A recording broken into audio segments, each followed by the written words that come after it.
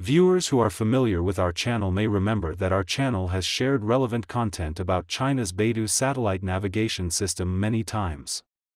You can see the relevant links at the bottom of the video, please click to watch.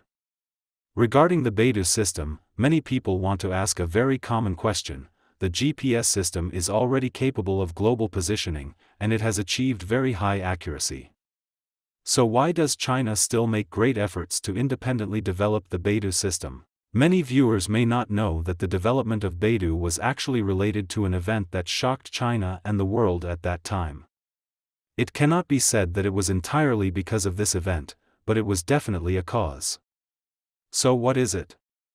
Okay, welcome to my channel, let's watch today's video together. Just like the history and background of many projects, the birth of Beidou is also part of that era full of grief and indignation. In the Hollywood blockbuster Lord of War, the protagonist uses an ocean freighter to transport weapons, but ends up encountering Interpol on the high seas. Despite the ship's urgent name change and flag switch, Interpol eventually boards the ship for inspection. This plot isn't just a director's wild imagination, it's based on maritime law. On the high seas, if a vessel is suspected of being involved in international crimes, Interpol and naval vessels from various countries have the right to intercept and inspect it, a legal concept known as the right of visitation. This legal principle has a long history, but in modern times, besides United Nations peacekeeping forces and Interpol, the United States is one of the most frequent users of the right of visitation. In 1993, the United States intercepted the Chinese merchant ship Inha in the Arabian Sea, leading to the sensational Inha incident that shocked both domestic and international audiences. Following this incident, Chinese people became more aware that to maintain sovereign independence and integrity, the country needed to become stronger. The first step was to establish its own satellite navigation system, which would prevent being manipulated by others in the vast sea. The Inha incident took place in 1993. In 1994, China officially launched the Beidou Satellite Navigation System project. By 2000, the Beidou Phase 1 system was completed, followed by the Beidou Phase 2 system in 2012. On July 31, 2020, the completion and inauguration ceremony of the Beidou Phase 3 global satellite navigation system was held in Beijing. China became the third country in the world to independently possess a global satellite navigation system. So, why did the INHA encounter difficulties from the United States three decades ago? Why did the diplomat Sha Zukang, who was responsible for the INHA incident at the time, describe it using 17 instances of helplessness? What kind of strategic interactions took place between China and the United States regarding the Dinha incident?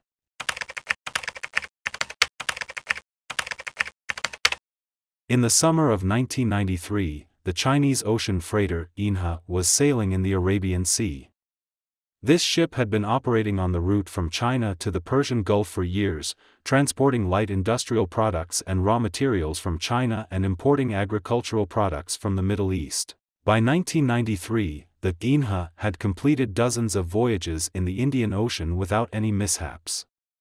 However, during its voyage in July, it encountered an unexpected disaster. Departing from Tianjin port, the Inha passed through China's Hong Kong, Singapore, Indonesia, and Oman before reaching its final destination, Dubai. During this journey, the ship was loaded with goods such as plastic toys, stationery, metal components, and dyes. Each container was numbered, and each item was registered. However, on July 23, the United States informed China's foreign ministry through diplomats that they had received intelligence suggesting that the Inha was carrying internationally prohibited chemical weapon materials, specifically thioglycol and thionyl chloride, destined for their adversary, Iran. Consequently, the United States requested China to allow an inspection of the vessel or else they would forcibly board and conduct the inspection themselves. Let's begin by introducing thioglycol and thionyl chloride. Both of these chemical liquids are highly toxic. The former is a raw material for insecticides and preservatives, and it can also be used as a precursor for mustard gas. During the Iran-Iraq War, Iraq imported large quantities of this material, producing mustard gas bombs that caused significant casualties among Iranian troops. Thionyl chloride can be used as an insecticide and herbicide, but it can also be processed into nerve gas. These materials are crucial industrial ingredients, and at that time, Western chemical giants were the largest producers. As a result, these materials were closely monitored by the international community to prevent them from being used for weapon production. While China also produced these substances, it never exported them abroad. Furthermore, China was an advocate and signatory of international conventions banning chemical weapons, making it highly unlikely to intentionally engage in such activities. After receiving the information, China inquired with the China Ocean Shipping Company to verify the situation. The company responded. The INHA's records are clear, and there is no trace of these chemical materials on board. Additionally, the countries it passed through did not load any relevant materials onto the ship. The United States, however, presented its own intelligence, which astonishingly stated.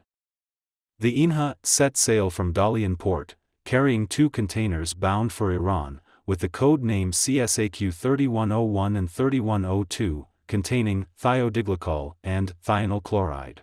China couldn't help but feel puzzled, the US got even the departure port of the INHA wrong, and yet they were using this so-called inside information to demand an inspection of the vessel.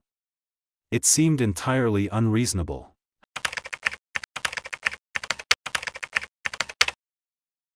However, regardless of the authenticity of the situation and without heeding the explanations from the Chinese side, the US was determined to stick to their narrative of China engaging in covert transactions.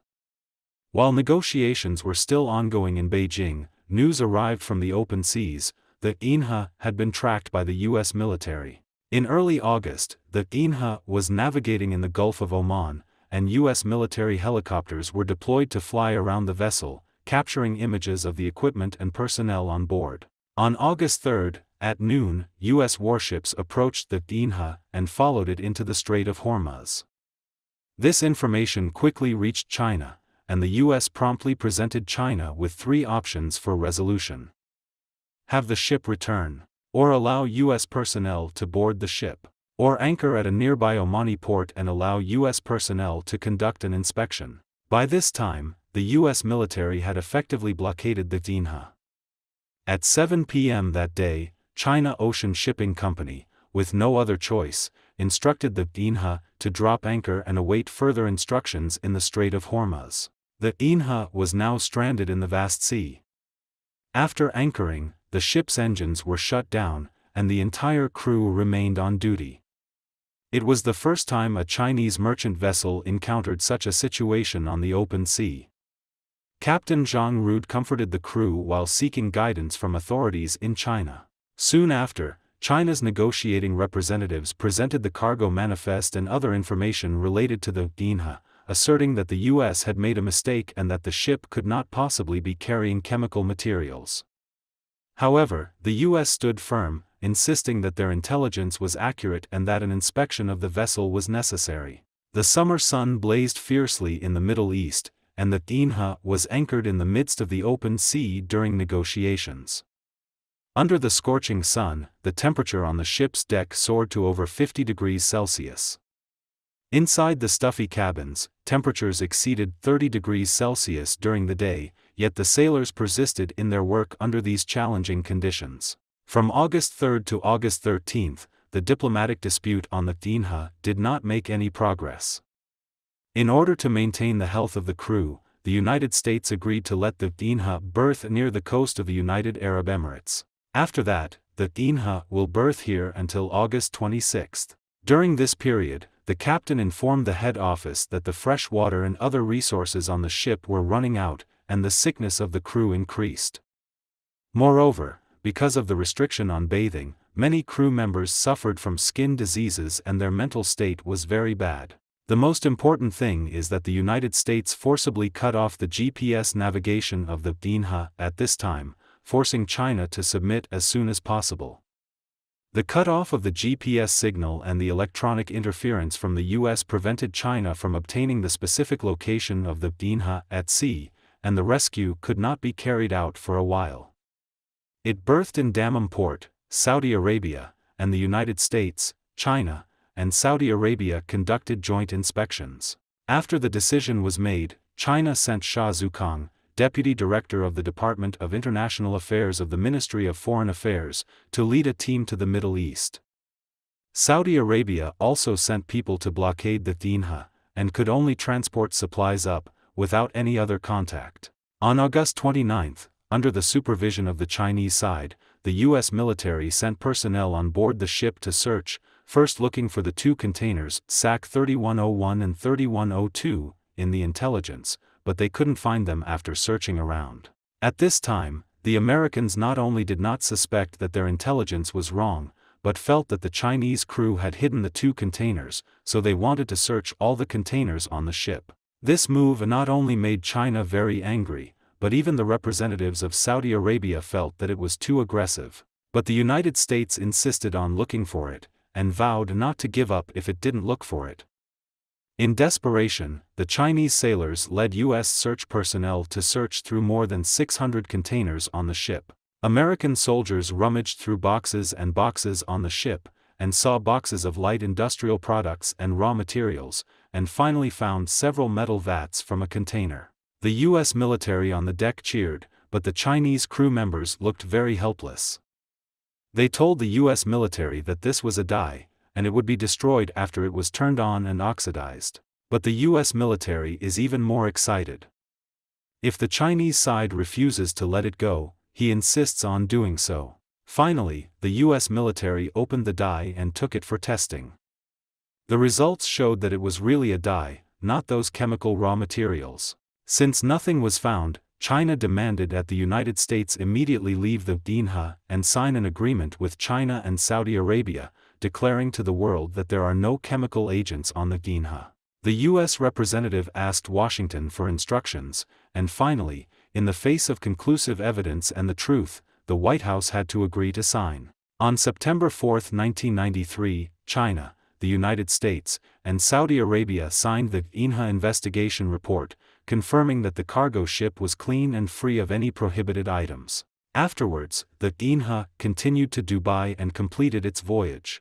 When Sha Zukang, deputy director of the Department of International Affairs, later recalled this incident, he said that the United States did not listen to what China said at the time, and even refused reasonable requests.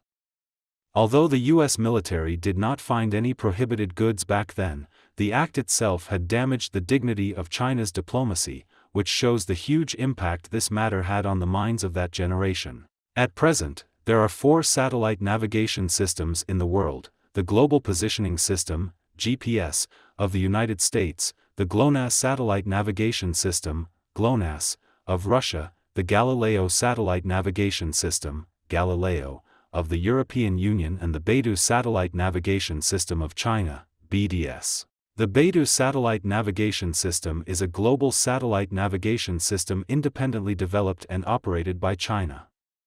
It is the Beidou 1, Beidou 2, and Beidou 3 systems. Today, China's Beidou is moving towards the world, bringing convenient life to all human beings. With the advent of new eras such as the Internet of Things, Big Data, and 6G, the Beidou satellite navigation system will usher in a broader space for development. With this as the cornerstone, various developments of human society will usher in a better future under the guidance of Beidou. Okay, that's all for today's sharing, see you next time.